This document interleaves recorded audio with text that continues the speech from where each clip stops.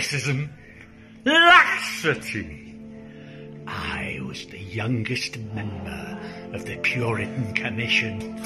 Oh, come, come. What witchcraft? Creative nature serenades us men at every moment. with his body historically bending to the door